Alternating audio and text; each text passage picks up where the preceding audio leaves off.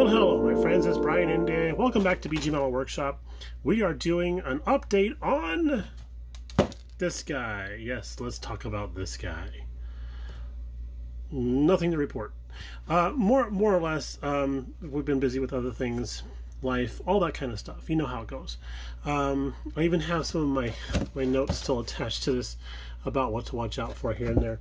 Um, the kit is is the kit is fine. There's you know it's had a couple of little issues that go along with having an aged kit, but um, nothing to worry about really. We see we have a little bit of primer on here. We talked about that last time about how we were gooping some primer on there to fill in some scratches. But here's the big news. Um, we have been agonizing over this for a little while, and that's not going to come out very easily, so we'll leave it like that. But we decided to go with the cross wedge. I like that. That looks cool.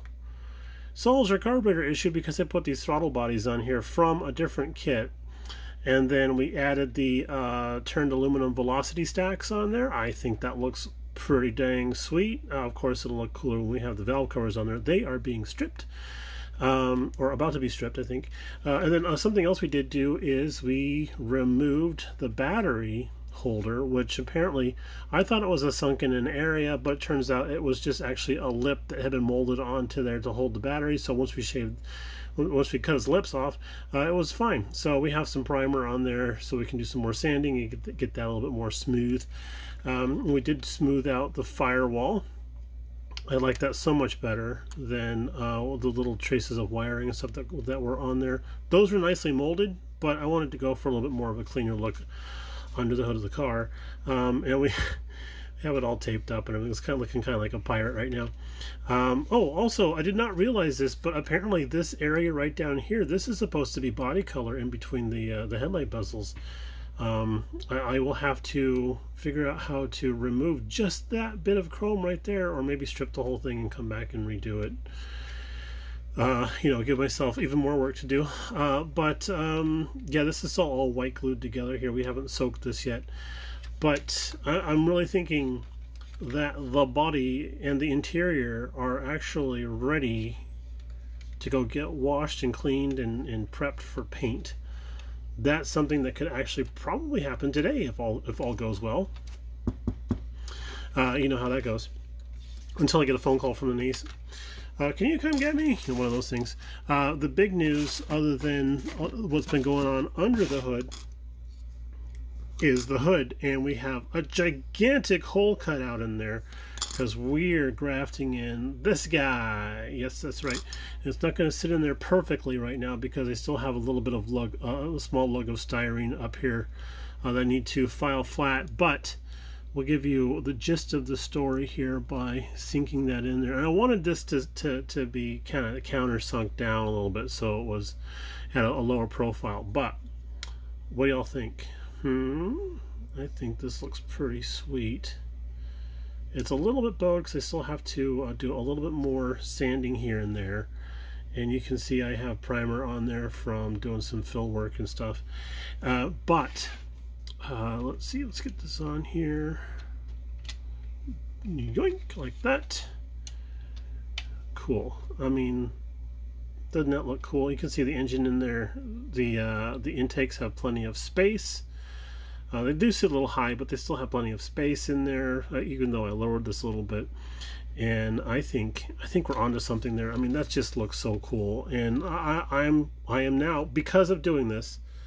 I'm now favoring the idea of doing a blacked out hood, uh, black stripes on the side. I was kind of going back and forth between the white and the black, doing the black on the side and then doing black interior with an with the uh, the mango body.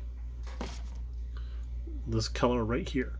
So, um, I think that's where we're going to go with this. Uh, I I just love that that uh, that scoop on there. I was actually playing with the idea of putting it on here reverse like this. I was like, hey, that's actually kind of cool too.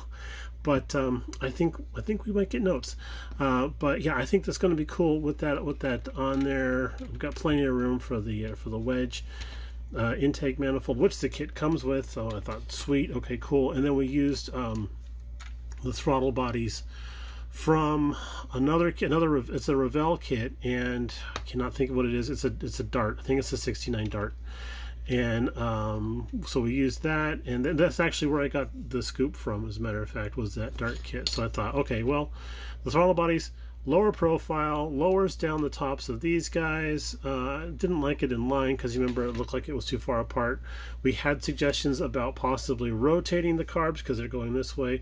Rotating the carbs there's not enough room. The way those carbs are made um, they're just too long they wouldn't fit on top of that plenum. So it was the best thing to do was to either go with the air cleaners that the kit supplied, which were okay, but I wanted to have a little bit more of a signature piece going on here. So um, I kind of went the Fred Henry route and cut open the and put in a, a nice little uh, nice little air scoop on there, and uh, we're going to go from there. So uh, also we've been kind of tinkering around with this here a little bit and been noticing it threatens to come out, but it doesn't. It's like a cat. There we go.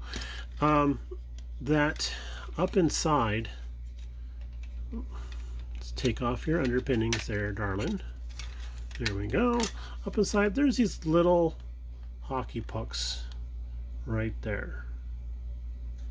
Okay, and um, this, this shoulder right here needs to sit in front of those. That's what this little carve out seems to be for. So if we do this, we smash this all back together again like a cheeseburger on a grill. Mm, boy, I'm hungry.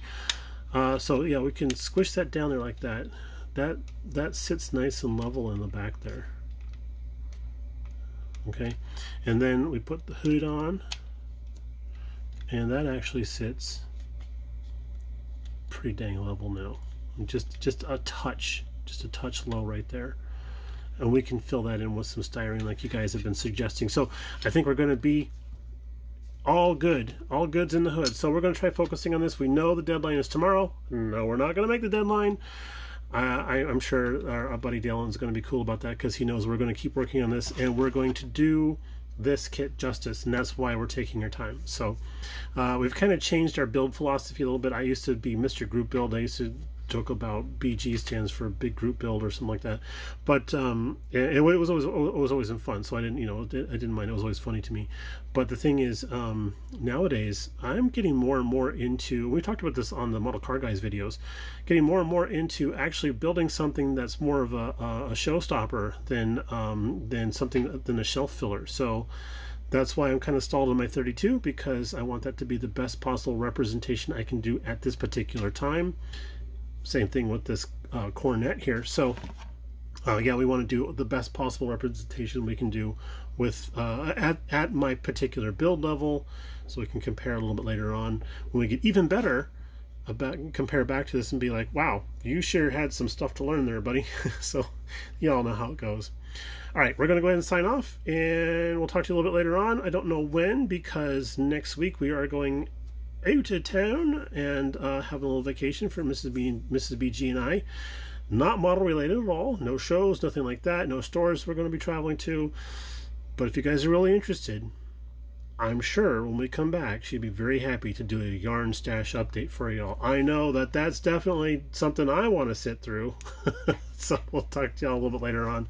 Y'all have a great weekend and take it easy. Bye now.